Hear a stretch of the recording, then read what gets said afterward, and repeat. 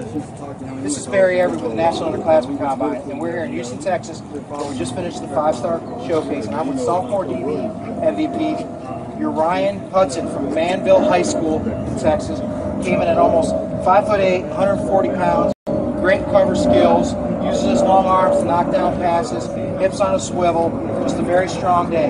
Now, Uryan, let me ask you this, what did you enjoy about the five-star showcase? I love the competition going against uh, receivers throughout the state of Texas and receivers that will that will play during the regular season.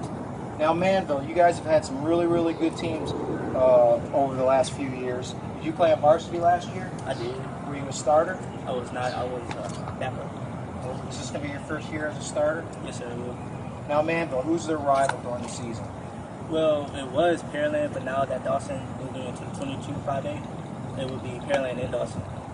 And how did those games come out last year? Last year we dominated Pearland 42 to 7 as we won district.